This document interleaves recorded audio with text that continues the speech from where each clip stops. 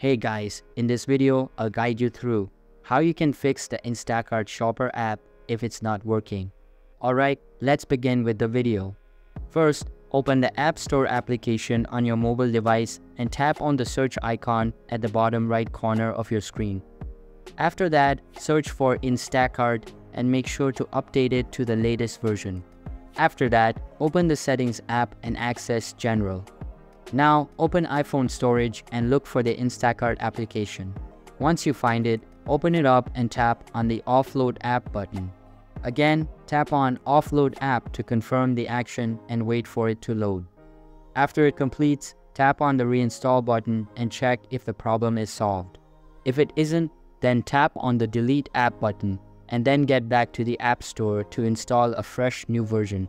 So that's basically how you can fix the Instacart Shopper app if it's not working.